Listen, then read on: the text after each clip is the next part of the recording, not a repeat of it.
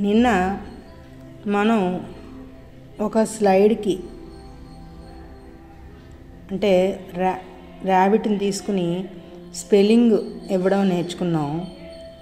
ఒక స్లైడ్ తయారు చేయడం నేర్చుకున్నాం. ఇప్పుడు రెండవ స్లైడ్ చూద్దాం. సేమ్ రెండవ స్లైడ్ కూడా మీరు ఏం చేయాలనుకుంటున్నారో ముందుగా దాన్ని పిక్సాబేలోంచి కానీ లేదా గూగుల్లో ఉన్న ఫ్రీ ఇమేజెస్లోంచి కానీ ఒక ఇమేజ్ని అంటే కాపీరైట్ లేని ఇమేజ్ని డౌన్లోడ్ చేసుకుని ఉంచుకుంటారు. ఇప్పుడు మనం ఇంకో స్లైడ్ యాడ్ చేయాలి అంటే ముందుగా చెప్పినట్టు ఈ మీడియాలోకి వెళ్తారు. మీడియాలోకి వెళ్ళి బ్యాక్గ్రౌండ్ సెలెక్ట్ చేసుకుంటారు. ఈసారి బ్యాక్గ్రౌండ్లో మనకి ఇంకో కలర్ కావాలనుకున్నాం. సపోజ్ ఇక్కడ నేను ఈ సీ గ్రీన్ని ఎంచుకున్నాను. ఈ సీ గ్రీన్ స్లైడ్ని ఎంత కావాలనుకుంటే అంత మీరు తగ్గించుకోవచ్చు పెంచుకోవచ్చు కూడా. చూడండి. తగ్గించుకోవడం పెంచుకోవడం మనం చేసుకోవచ్చు.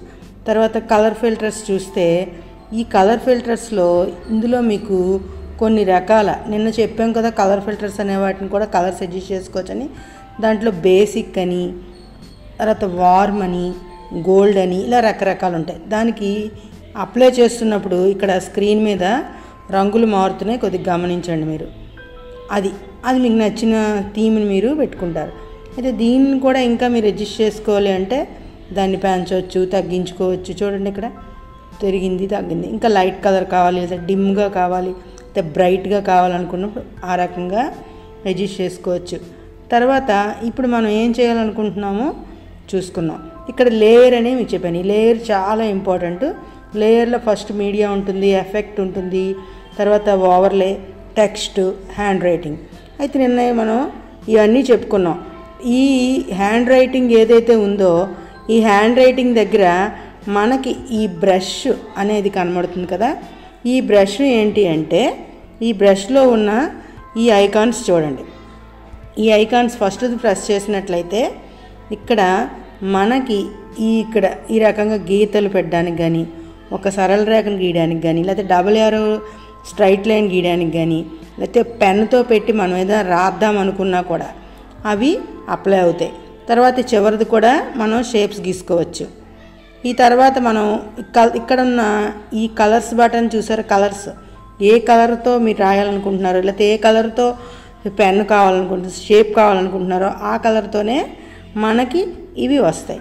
ఇక్కడ మనం రెడ్ కలర్ సెలెక్ట్ చేసుకున్నాం. సపోజ్ మనం ఇక్కడ మనం బ్రౌన్ కలర్ సెలెక్ట్ చేసుకున్నాం అనుకోండి అదే కలర్ వస్తుంది. తర్వాత ఇది ఏదైతే మీరు సెలెక్ట్ చేసుకున్నారో దాన్ని అరేంజ్ చేస్తూ ఉంటుంది.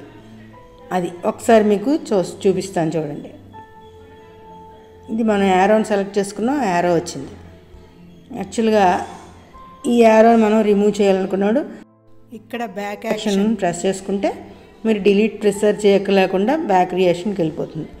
ఇప్పుడు గీతను సెలెక్ట్ చేసుకోవాలి. Straight line.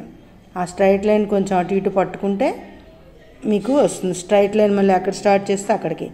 లేదు అలా కాని పక్షంలో దాన్ని కూడా కాకుండా ఇంకొకసారి డబల్ సైడ్ అంటే ఒక కోణం కింద ఒక సరళ రేఖ కింద ఈ రకంగా కూడా మీరు వాటిని మ్యాథ్స్కి సంబంధించి చేసుకోవచ్చు. అయితే ఇది ఏంటి? ఇది పెన్. ఒక షేప్ గీసుకోవాలి. సపోజ్ షేప్ ఆర్టీన్ షేప్ గీసామనుకోండి ఆ షేప్ గీసుకోవాలి. ఆ షేప్ సరిగ్గా లేదు. అరేంజ్ చేసుకోవడానికి రబ్బర్ వాడాను. ఒకసారి చూడండి నేను ఏది వాడానో. అది మీకు ఇక్కడ హైలైట్ అవుతుంది. అది ఇలాగా అరేంజ్ చేసుకోవచ్చు. అరేంజ్ చేశాను చూసారా? లేదు అరేంజ్ చేయాలి మొత్తం అప్లై చేసుకోవాలి. ఒక దగ్గర అరేంజ్ చేయాలి అంటే చూడండి. ఒక దగ్గర అరేంజ్ చేయాలి అంటే ఏ పార్ట్ అరేంజ్ చేయాలో ఆ పార్ట్కి ఈ ముందున్న అరేంజ్ని యూజ్ చేస్తారు. లేదు మొత్తం అరేంజ్ చేసుకోవాలంటే సింపుల్గా ఇది చేస్తారు ఇక్కడ మీకు బ్లాక్ రియాక్షన్ అయినా వాడచ్చు డిలీట్ అయినా వాడచ్చు తెరేజ్ అయినా వాడచ్చు. అయితే కిందనున్న ఈ డాట్ ఏంటి? ఈ డాట్ ఏంటంటే సైజెస్ పెంచుకోవాలి. మీ ఇచ్చిన షేప్కి ఏ ఎంత కావాలి ఏ సైజులో రావాలి అనేది సైజెస్ పెంచుకోవాలి. సపోజ్ ఇప్పుడు మనం గీత గీసాం ఈ సైజ్ వచ్చింది. తర్వాత చూడండి మీకు ఒకసారి సెలెక్ట్ చేస్తాను. తర్వాత మనం ఈ కొద్దిగా పెద్దది ఇచ్చుకుంటే ఈ రకంగా లావుగా వచ్చింది. అది తిక్కు తిన్ను కింద మనం చేసుకోవడానికి ఉపయోగపడుతుంది. ఈ రకముగా ఇక్కడ ఉన్న హ్యాండ్ రైటింగ్లోని వచ్చి ఇవన్నీ వాడుకోవచ్చు. సపోజ్ మనం ఇక్కడ ఈ షేపులు చూసారా? ఇంటూ. మనకి ఇంటూ కావాలి ఈ రకంగా చక్కగా స్ట్రైట్గా అందంగా రాంగ్ రైట్ ఇచ్చినప్పుడు కానీ బ్రాకెట్స్ అవి ఇచ్చినప్పుడు ఓ మనం ఎస్ఆర్ నోస్ ఇచ్చినప్పుడు కానీ ఈ రకమైన యారో ఉపయోగపడుతుంది. ఇది ఎంత కావాలంటే అంత. లేదు ఒక డిజైన్లా వేసుకోవాలన్నా కూడా ఇవి ఈ రకంగా మనకి చూడండి ఎంత చక్కగా ఉపయోగపడతాయి. ఇప్పుడు మనం వీటిని కూడా ఈ రకంగా మనం తొలగించవచ్చు. ఇప్పుడు చూడండి మనం బాక్స్ను ఇలా గీసుకుంటున్నాం. ఈ బాక్స్లో ఎలా గీయాలో చూద్దాం. సబ్స్టిట్యూషన్ టేబుల్కి ఒక బాక్స్ ఇచ్చుకోవాలి. అయితే హెడ్డింగ్ ఇచ్చుకోవాలి అనుకున్నప్పుడు కూడా మనం చేస్తాం సబ్స్టిట్యూషన్ టేబుల్ తయారు చేస్తాం అనుకోండి. సపోజ్ ఇలా ఇచ్చుకుంటాం. ఈ బాక్స్లో హెడ్డింగ్స్ వస్తాయి. అవి ఎలాగో చూపిస్తాను. సపోజ్ మళ్ళీ హ్యాండ్ రైటింగ్లోకి వెళ్ళాం. ఇప్పుడు ఇది సెలెక్ట్ చేసుకున్నాం కానీ మనం లైన్స్ సెలెక్ట్ చేసుకుందాం. స్ట్రైట్ లైన్స్ సపోజ్ చూడండి ఒకసారి.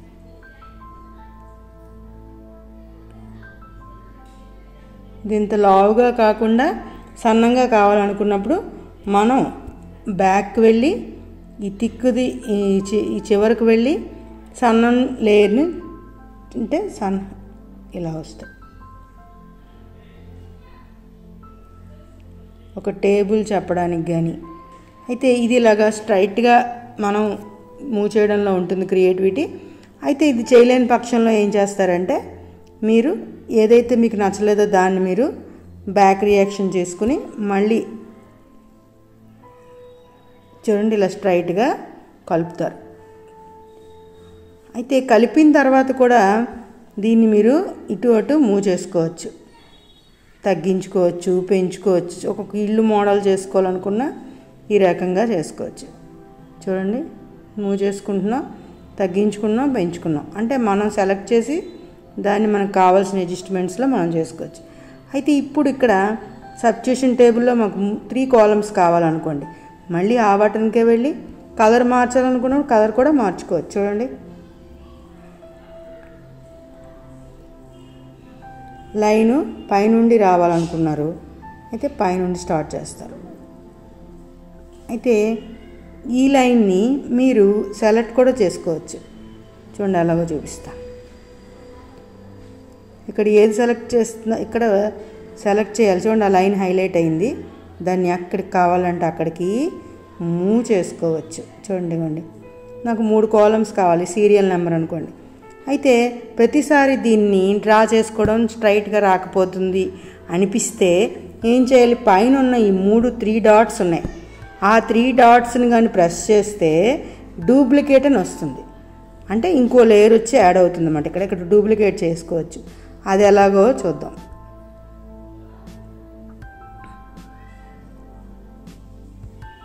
చూడండి ఎంత దూరంగా కావాలనుకుంటే అంత దూరంగా పెట్టుకోవచ్చు. ఇది ఒక బాక్స్ ప్రిపరేషన్.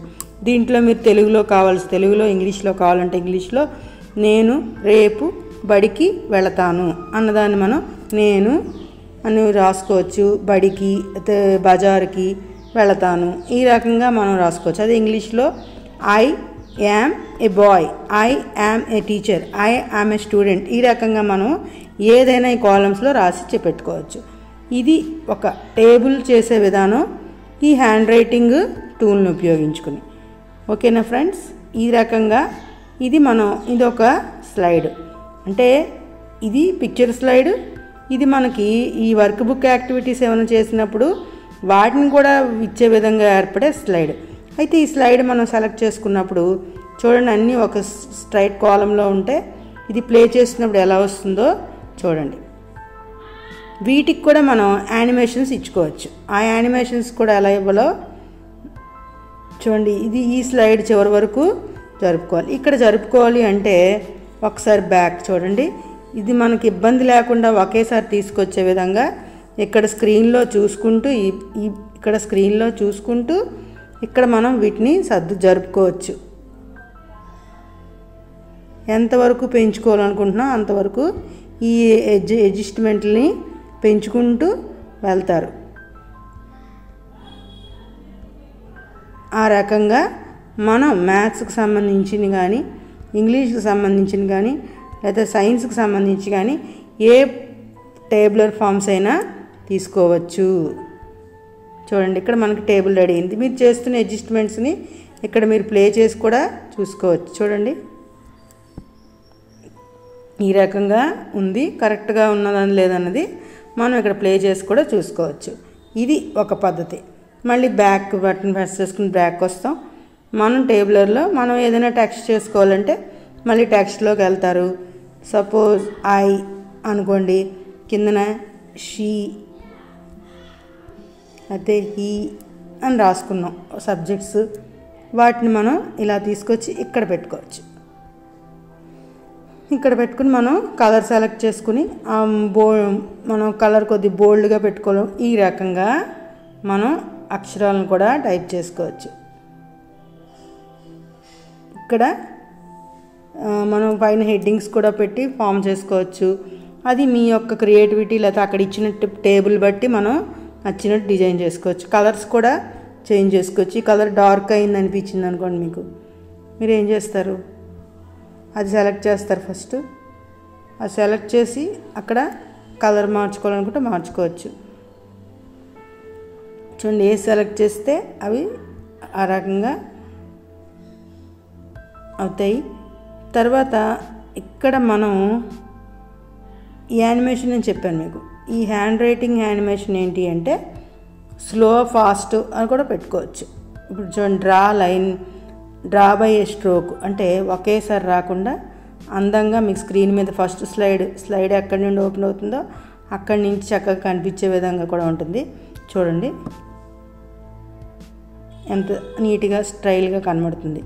ఈ రకంగా కూడా మనం బాగా మీకు ఈ స్కైన్ మాస్టర్ ఈ బాక్సులు ప్రిపేర్ చేయడంలో ఒక రకమైన గ్రిప్ వచ్చిన తర్వాత మీరు ఈ రకమైన సెట్టింగ్స్ని కూడా వాడుతూ డ్రా ఇన్ ఏ లైన్ అన్నది కూడా యూజ్ చేసుకోవచ్చు. ఆ రెండు గ్రాఫిక్స్ వీటికి చాలా చక్కగా కుదురుతాయి. చూడండి. అలాగా దేని ఏ దేనికి గ్రా ఇవ్వాలనుకుంటున్నారు యానిమేషన్ దాన్ని సెలెక్ట్ చేసుకోవడం దాన్ని మనం ఈ విధంగా చూపించుకోవడం చేయొచ్చు. ఇప్పుడు ఒకసారి చూడండి.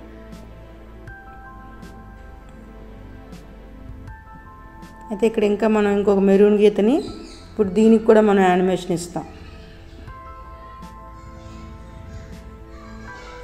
యానిమేషన్ ఇచ్చిన వెంటనే మొత్తం మీకు లెటర్స్కి ఎలాగ ఇచ్చారో ఆ స్లైడ్లో ఆ రకంగా యానిమేషన్ ఇస్తూ మన టేబుల్ వస్తుంది. ఈ టేబుల్ వచ్చిన తర్వాత ఈ టేబుల్లో మనం సెంటెన్సెస్ తయారు చేయమని విద్యార్థులకు కోరవచ్చు. లేదా నెక్స్ట్ స్లైడ్లో ఈ ఈ సెంటెన్సెస్ సంబంధించి మనం ఈ ఎగ్జాంపుల్స్ని ఇవ్వచ్చు. ఈ రకంగా ఇది చేయొచ్చు. ఇది ఒక స్లైడ్ మనం ఈరోజు నేర్చుకున్నాం. ఇది పూర్తిగా ఈ హ్యాండ్ రైటింగ్ ద్వారా నేర్చుకున్నాం. అది గుర్తుపెట్టుకోండి.